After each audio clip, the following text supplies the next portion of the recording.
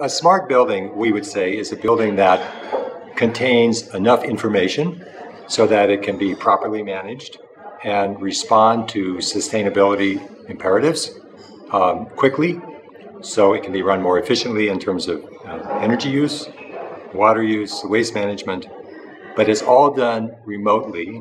And then a smart building then takes the aid of the modern internet so that everything can be hosted on cloud based platforms. And you don't have to do anything manually by hand.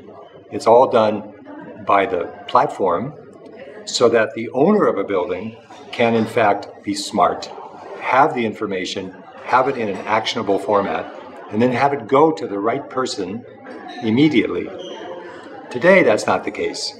So, buildings need to get smarter. A good example is a building that was completed last year in the Netherlands. Uh, it's called The Edge, and it's the headquarters for Deloitte consulting firm. And The Edge has 27,000 sensors in the building. So you can measure air quality, you can measure all of the health uh, criteria in a building, you can measure energy use, energy Energieverbrauch. You can do all of this stuff with sensors, and then it gets processed through uh, the platform, if you will, the means of analysis. But more importantly, it gets visualized. It now becomes a picture.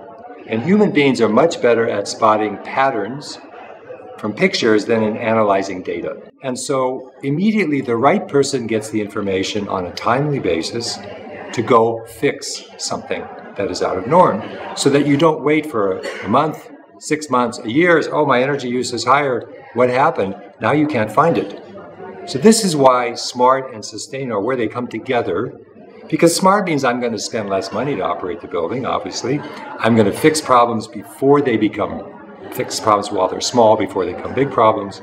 And more importantly, now I'm going to attack the sustainability issues as well. The other part of this is I automatically generate reports for management. And the reports can be designed easily depending on the level of the person. So, for example, the uh, CEO, the head of the management committee, doesn't want much information. They want to know are we 10% better than last year because that was our goal? or are we only 5% better? You know, so, but the district manager, let's say he has 10 buildings, 15 buildings, the district manager wants to know more in detail because he's responsible or she is responsible for operating cost. And then the individual building manager, of course, wants to know their specific building.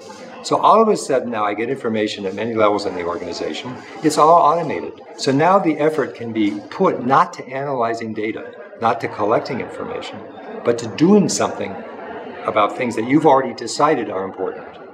So there's a role here, and if you have a sustainability commitment, you now say, well, energy use has to be 10% less every year. Are we getting there?